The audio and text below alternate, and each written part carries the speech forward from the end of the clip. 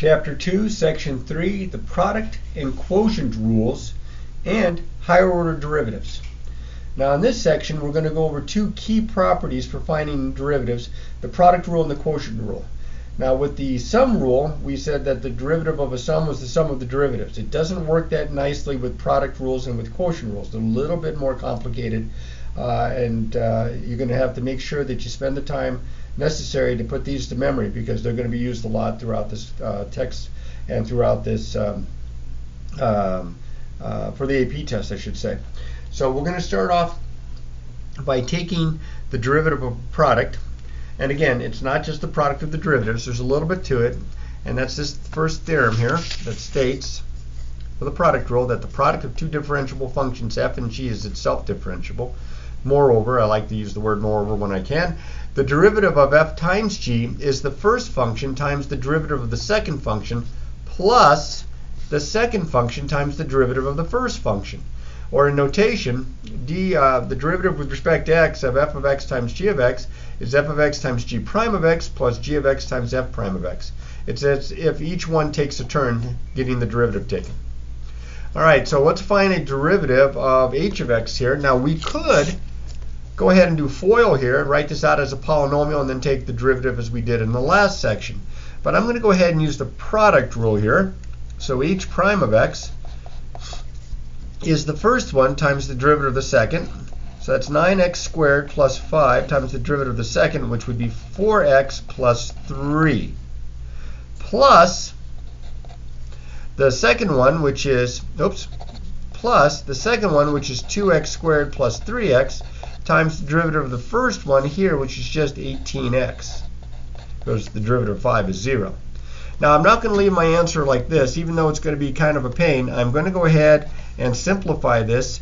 So this is going to be 36x to the third plus 27x squared plus 20x plus 15. A little FOIL there, a little distributive here. Plus 36x to the third plus 54x to the second. Combine like terms, I find h prime of x to be 72x to the third plus 81 x to the second plus 20x plus 15. And I tell you, if you take the time and if you FOIL that out and then take the derivative of that polynomial, you're going to get right to this guy. Next guy up.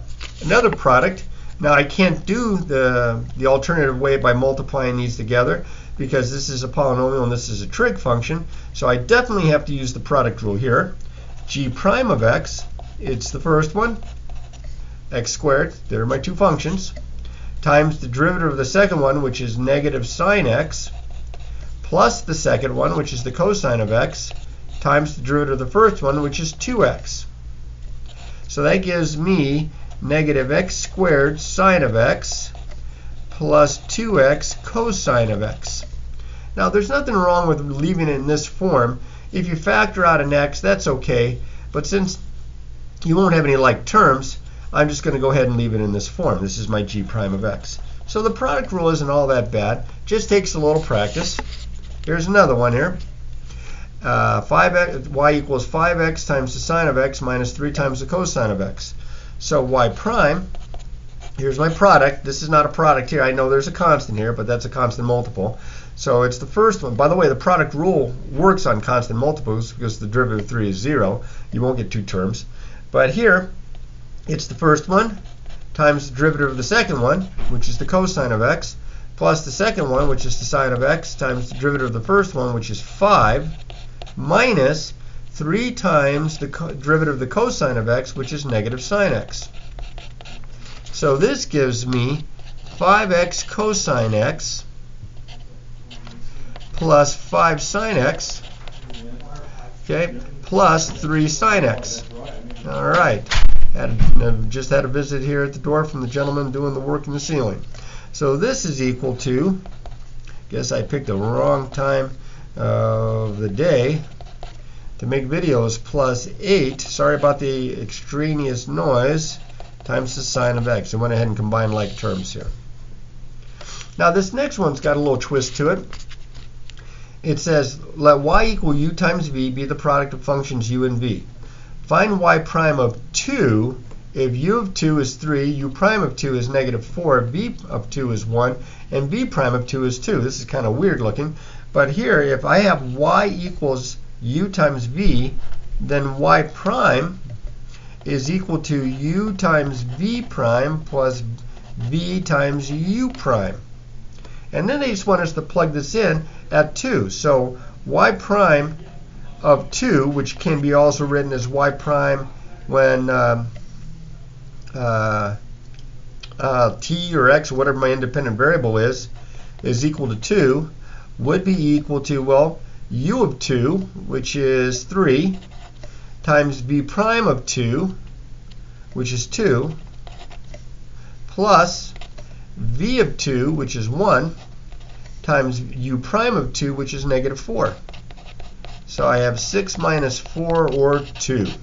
Kind of an unusual problem notation-wise. A little bit of uh, a little bit messy there. All right. Now the product rule not only works when you have a product of two functions, but you can expand this to three functions, four functions, however many you want, as, a, as long as it's a product and they're all differentiable, by again making sure that each one takes a turn. Here's the derivative of f of x times g of x times h of x. So see how in the first part it's the product, but the first one takes its turn at the derivative plus Okay, the second one, it's a, again, it's the product of all three, except that the middle one's taking the derivative, and then plus all three, but the last one's taking its turn getting the derivative. And you can do this for more than three functions, although I doubt if you'll ever see more than three functions. Now, one of my favorite guys is the quotient rule. The quotient rule is a little bit more complicated than the product rule, all right, it says the quotient f over g of two differentiable functions f and g, it's itself differentiable at all values of x for which g prime of, or g of x does not equal zero. Can't get zero in the denominator. Moreover, the derivative of f over g is given by the denominator times the derivative of the numerator minus the numerator times the derivative of the denominator all over and divided by the square of the denominator. Look at this mess. The derivative with respect to x of f of x over g of x is g of x times f prime of x minus f of x times g prime of x. Kind of like they take their turns, but there's a minus sign, so you have to make sure you have the right order, all over the denominator squared.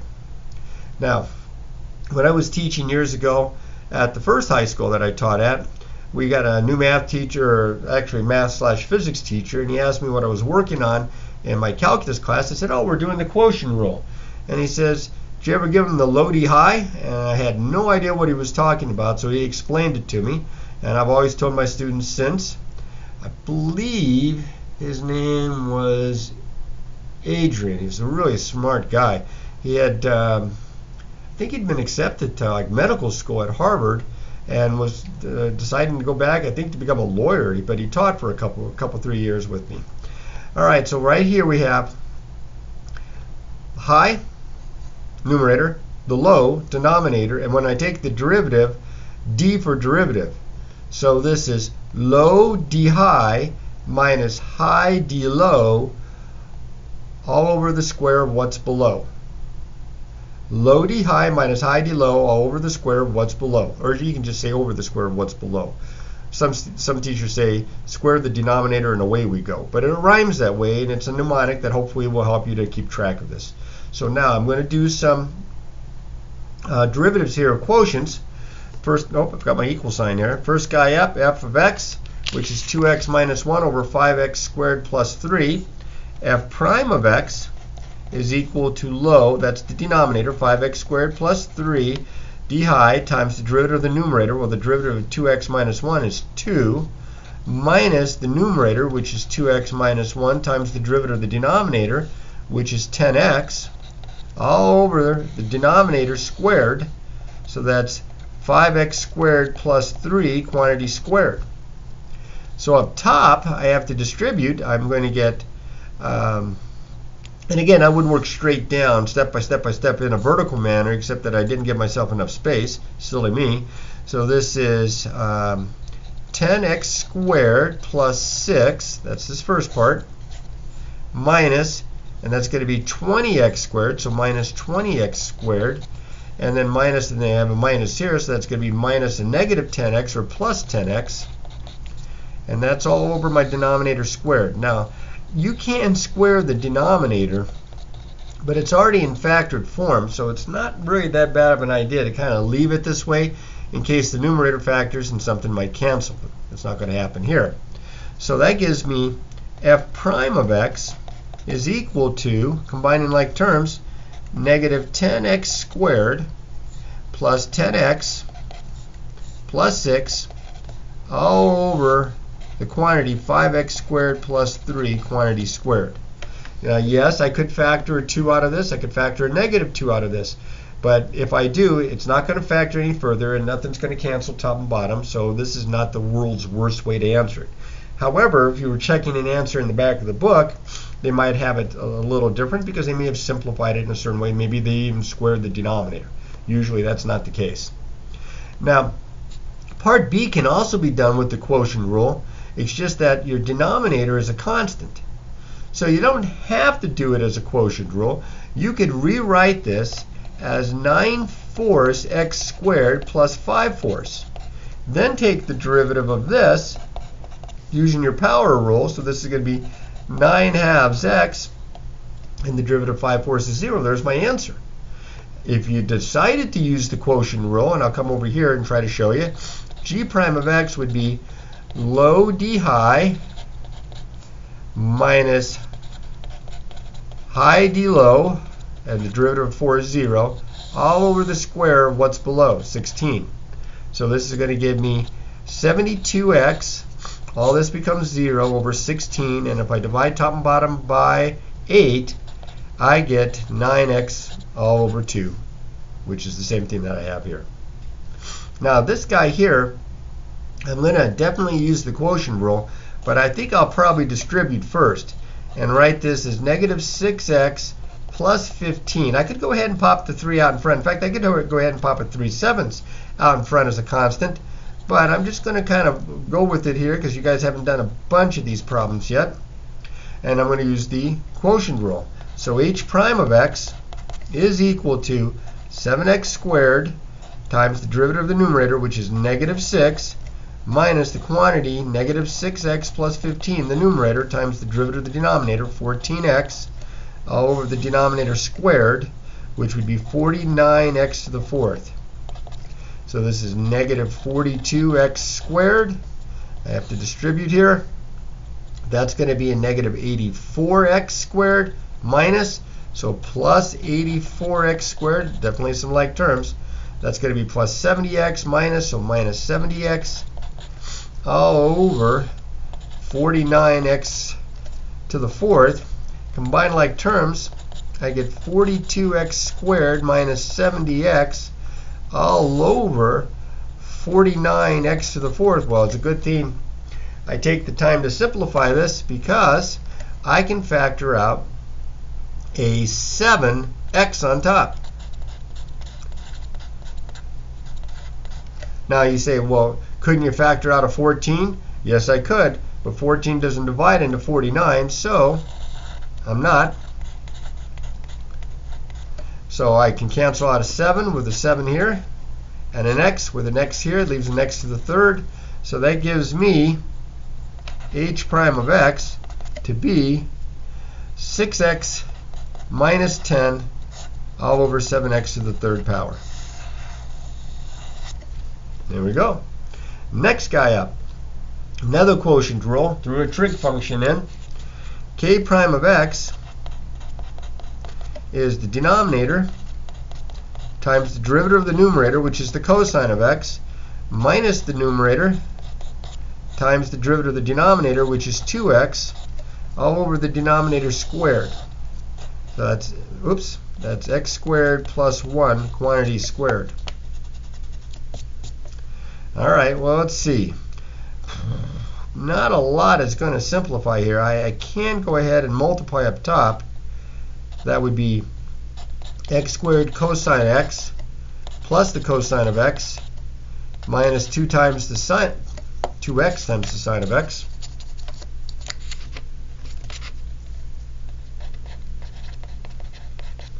all over the denominator squared and again I'm not going to square that out because nothing's going to simplify up here and nothing's going to cancel top and bottom, so I'm going to leave them as is. Now this guy here with the uh, 1 over x, you can leave him as 1 over x, but you could also multiply top and bottom by x to get rid of the complex fraction. Okay. Now just for the thrill of it, I'm going to leave them as 1 over x. But again, you can multiply top and bottom by x. It'd be 4x minus 1 over x squared plus 3x. Probably less aggravation because there won't be that rational. But let's see what we can do here. Y prime equals, now, it's the denominator, which is x plus 3 times the derivative of the numerator. Now, the derivative of 4 is 0. Minus 1 over x, that's the same as minus x to the negative 1. So the derivative of that would be 1x to the positive 2, or to the negative 2. So that would be 1 over x squared minus the numerator times the derivative of the denominator, which is just 1, all over the denominator squared. Now, I probably wouldn't leave the, the fractions in the numerator, so I would multiply top and bottom by x squared. And that's going to give me x plus 3 minus x all over the denominator of x squared times the quantity x plus 3 quantity squared, the x's cancel.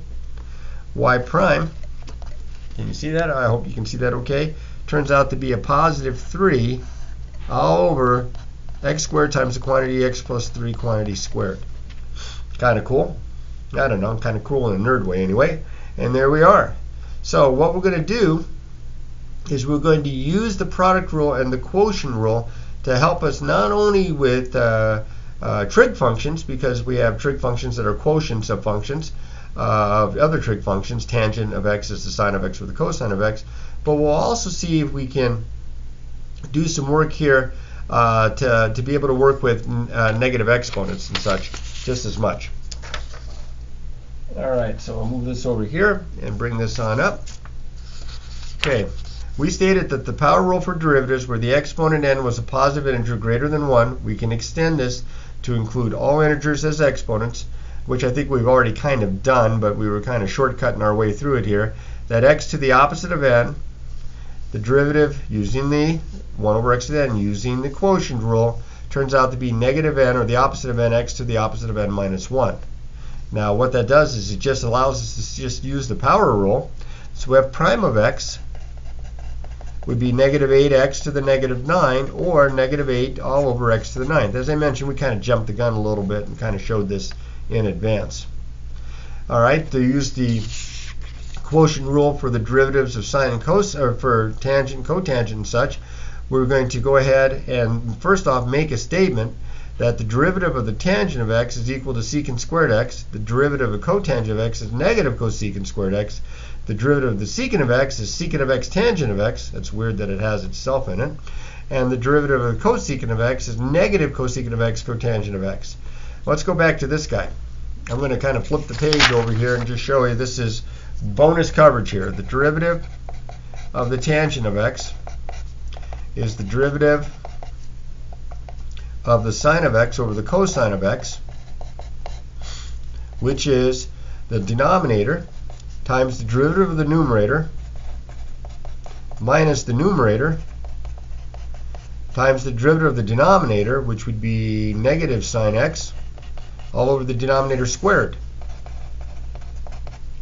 So this gives me cosine squared x minus a negative plus sine squared x all over cosine squared x. Well, look at that numerator. That's a Pythagorean identity. This is equal to 1. And 1 over cosine is secant, so 1 over cosine squared x would be secant squared x. Let's go back. And that was our guy. We can find this one very similarly, as well as these by using the quotient rule. So let's find the derivative. Now we don't have to go through the quotient rule every time we have a trig function. We can just put these to memory, and you do need to have those memorized. So find the derivative of each. y equals 5x minus the cotangent of x. Well, y prime then would be 5. Now the derivative of cotangent of x is negative cosecant squared x, so negative cotangent x, negative negative, that would be plus cosecant squared x. Easy pleasy. Here I have to use a product rule to see the product of the two functions. So g prime of x is the first one times the derivative of the second. Now the derivative of cosecant of x is negative cosecant x cotangent of x. Negative cosecant, oops, of x cotangent of x. Uh, let's see, plus the derivative of, I'm sorry, I was thinking about something else, can't walk and chew gum at the same time. The cosecant of x times the derivative of the second one, which is 2x. So this would be opposite x squared cosecant x cotangent x plus 2x cosecant x. And this is going to be, I could leave it like in this, or I could even factor out, if I, if I got uh, a little ambitious, I could factor out an x cosecant x, and I get the opposite of x cotangent x plus 2.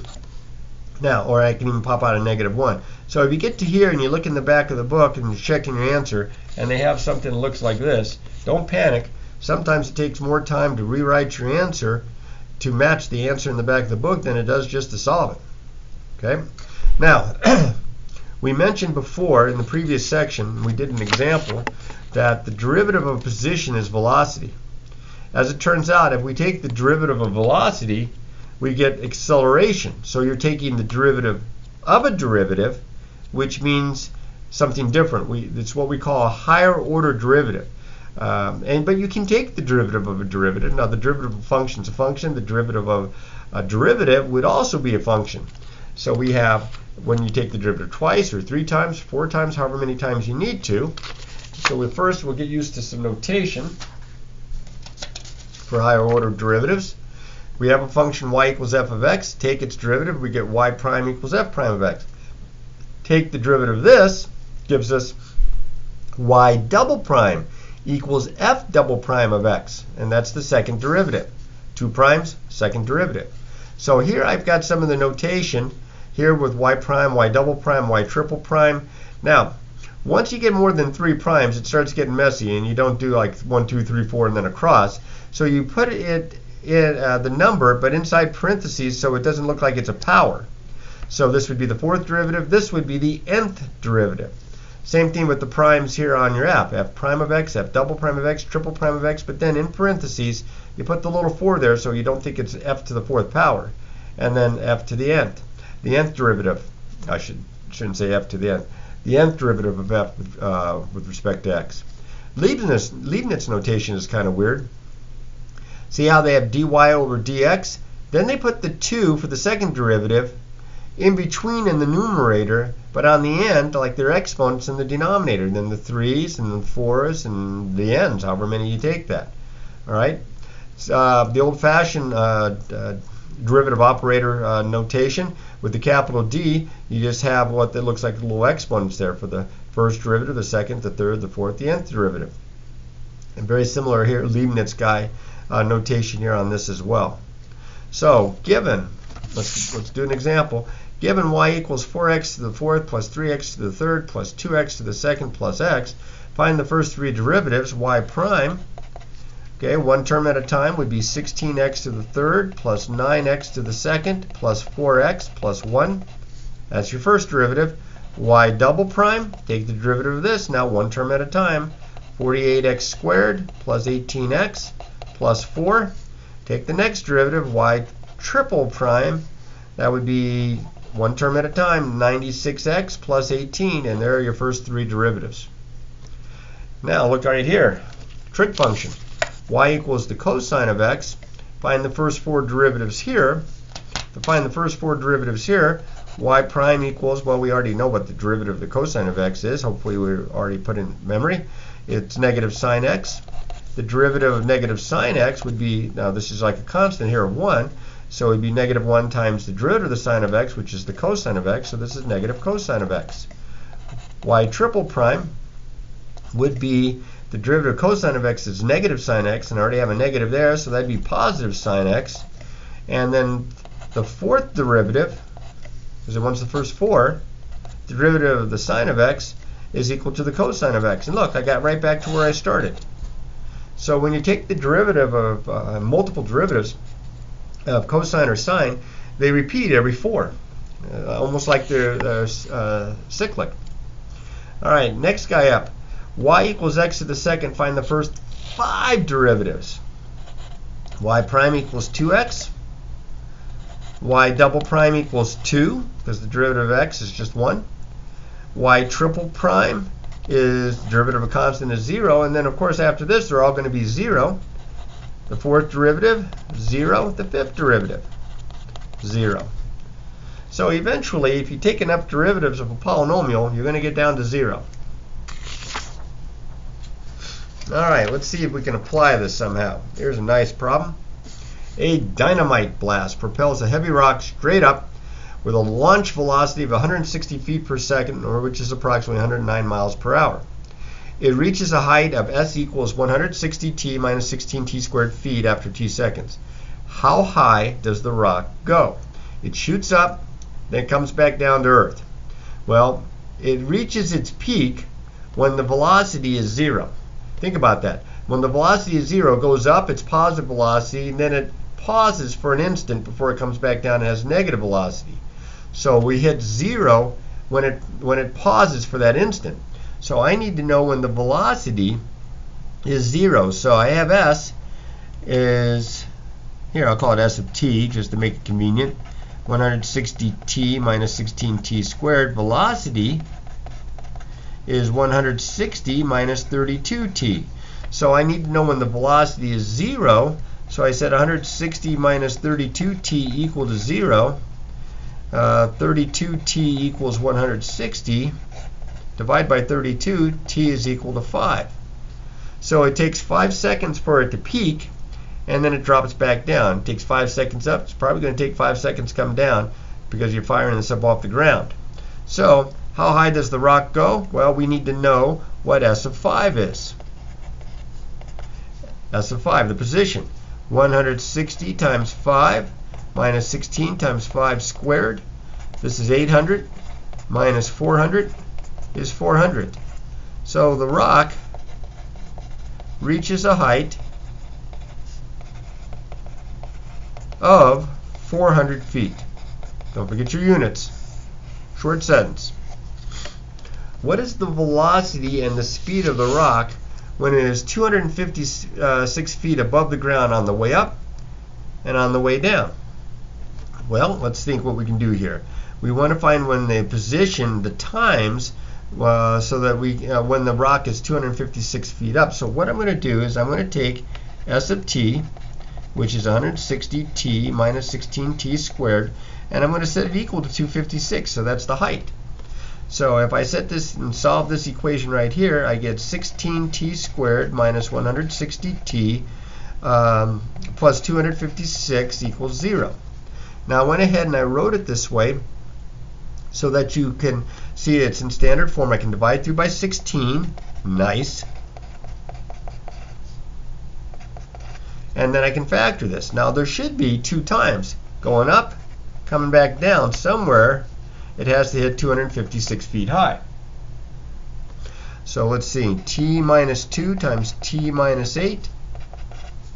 So that's going to give me t equals 2 and t equals 8. Two seconds after it launches, it's uh, 256 feet up. It continues going up to 400 feet, then it comes back down.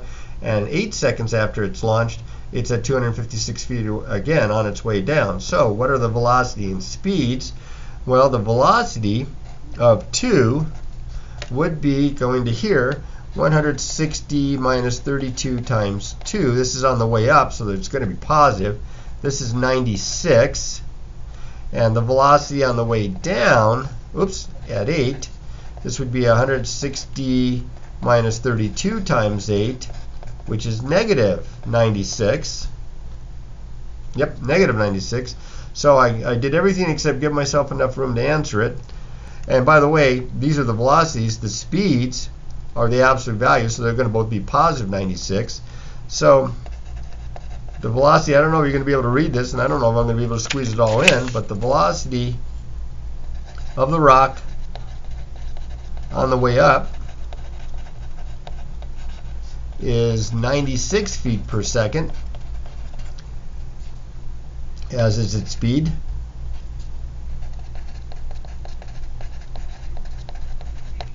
the velocity of the rock on the way down is negative 96 feet per second, and its speed is 96 feet per second. Now, I wrote that so small that even if you have probably the world's best vision, you're going to have trouble reading that. I have it on a big screen to my left here, and I'm having trouble reading it, although my vision's not the best. Sorry about that. The velocity of the rock uh, on the way up, um, well, I should say on the way up when it reaches 256 feet is 96 feet per second, as it's its speed. Uh, the velocity of the rock on its way down when it's 256 feet above the ground is negative 96 feet per second, and its speed is positive 96 feet per second. Now, part C, what is the acceleration of the rock of the uh, at any time t during its flight after the blast? Well, remember S of t was 160t minus 16t squared. Uh, v of t, the derivative, would be 160 minus 32t and a of t, the acceleration, is negative 32, which should make sense because of the object being affected by gravity, and gravity is negative 32 feet per second per second. So what's the acceleration? The acceleration is negative 32 feet per second squared. Okay. When does the rock hit the ground? Boy, I wish this rock problem would go away. When does the rock hit the ground? Well, the rock hits the ground uh, when the height is zero. So I'm going to take the position function s of t, which is 160t minus 16t squared. I'm going to set it equal to zero. I'm going to solve this. I can factor out a negative 16t. That would give me t minus 10. So I get t equals 0 and 10. Well, yeah, the rock's on the ground when it gets ready to blast off. When does the rock hit the ground? 10 seconds after it's uh, initially propelled. So the rock hits the ground 10 seconds after it's launched.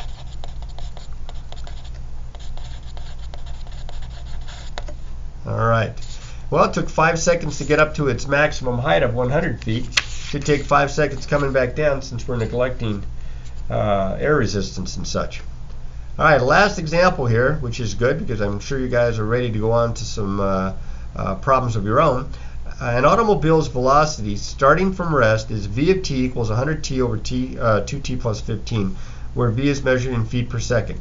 Find the acceleration at 5 and at 10. This is easy pleasy compared to the other one, except I have to use the quotient rule. Okay, so v of t is 100t all over 2t plus 15. The uh, acceleration a of t, which is the derivative, is equal to uh, low d high minus high d low over the square of what's below. So this is going to be 200t plus 1500 minus 200t. Well, that's going to cancel. That's nice. All over 2t plus 15 quantity squared, which is 1500 all over 2t plus 15 quantity squared. So I want a of 5, and I plug 5 in for t, and I would get 1500 all over 2 times 5 plus 15 squared. So let's see, 2 times 5 is 10 plus 15 is 25. Squared is 625. So I have 1500 over 625. Yikes. So what is that? Um, 60 over 25 divided by 5 again. That would be 12 over 5 that would be 2.4 feet per second squared. And then do the same thing, only this time plug in 10. 1500, if I can do this one. 2 times 10, might have to grab the calculator here, squared. Move this up so you can at least read it. Hopefully be able to read it. So that's 1500 so that's 2035 squared. I don't know what 35 squared is. It's a thousand and some change. So I'm definitely grabbing a calculator now because Uh, I don't want to mess this up. So I have 1500 divided by 35 squared. Oh, they gave me a decimal here. That kind of stinks. Let's think. 35 squared is 1225. So this is 1500 over 1225. 25 goes in that 60. All right, did I get 60 the first time? 25. No, I think I may have messed up here. no, that part's right. 60 and 25 goes into this uh, 49 times so I have 1 and 11 49ths feet per second squared or approximately 1.224 feet per second squared. Hopefully you can see that okay. Most of the problems come out usually pretty nicely. Once in a while they'll throw a decimal in at you. So again, practice, practice, practice.